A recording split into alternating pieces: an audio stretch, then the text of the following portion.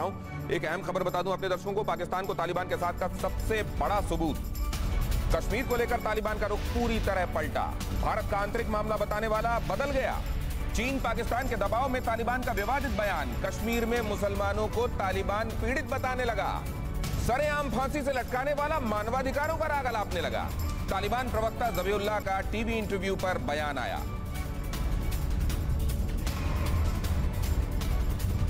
अब देखिए इसका मैं ज़िक्र कर रहा था। ये इस, इसलिए यहाँ पर ये दोहरा देना ज़रूरी था ताकि ये री हो सके कि जो अभी साहब कह रहे थे संजय साहब कि अगर सूपा बोले तो बोले अब चलनी भी बोल रही है।